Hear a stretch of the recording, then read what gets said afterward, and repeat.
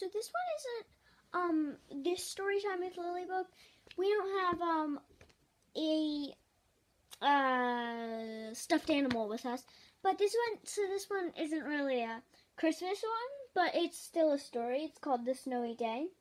If you want if you have your own copy and want to get it, please do.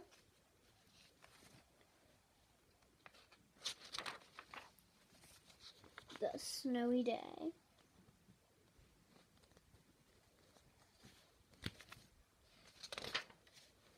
One winter morning, Peter woke up and looked out the window.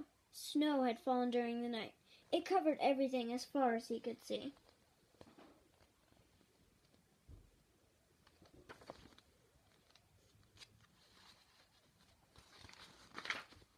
After breakfast, he put on his snowsuit and ran outside. The snow was piled up very high along the street to make a path for walking.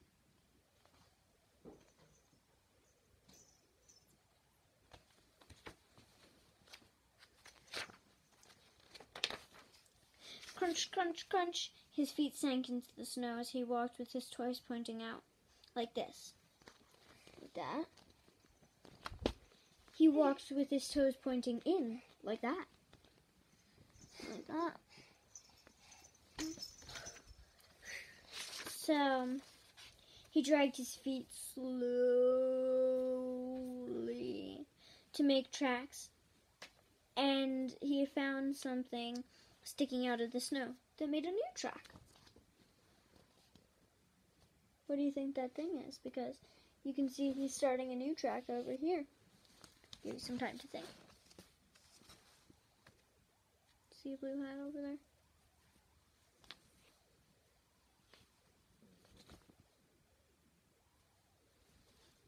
Alright, pause the video if you don't know the answer already. And so the answer is a stick. He he found a stick to make that new track. It was a stick. A stick that was just right for smacking a snow-covered tree.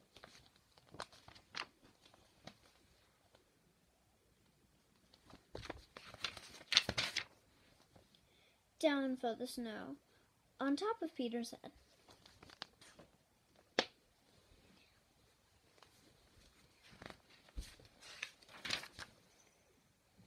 He thought he thought it would be fun to join the big boys in their snowball fight, but he knew he wasn't old enough yet. Has that ever happened to you? You weren't old enough to do something yet? I know that's happened to me. He made a smiling snowman. He made angels.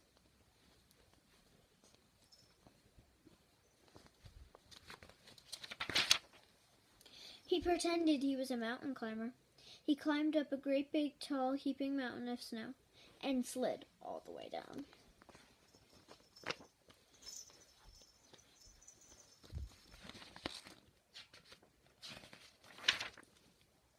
He picked up a handful of snow and another, and still another.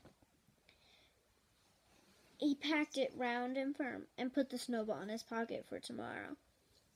Then he went inside to his warm house. He told his mother about his adventures as she took off his wet socks.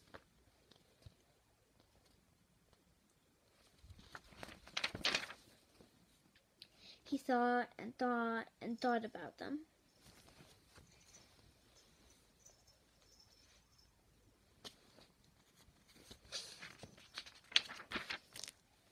Before he got into bed, he looked in his pocket. His pocket was empty. The snowball wasn't there. He felt very sad. You know what happened to the snowball? It melted. Because it's warm in his house, remember? They said if his jacket might have stayed outside, maybe it would have been warm. I mean, maybe it would have stayed, but he brought it inside, so then it got warm and melted. He slept and dreamed that the sun had melted away all the, sn- the snow away. But when he woke up, his dream was gone. Snow was still everywhere. New snow was falling. So that's his dream. But then, that's what's actually happening.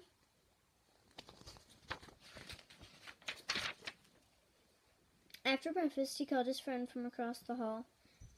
and together they went into the deep, deep snow. So I did not know this, but now I'm starting to think I think he lives in an apartment because they said down the hall. And unless you shared a house with somebody, which probably isn't that likely, um, it me- it probably means that he lives in an apartment. So um, here's a picture of him and his friend.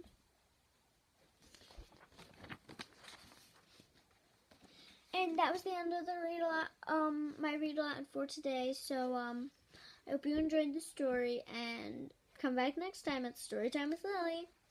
Bye.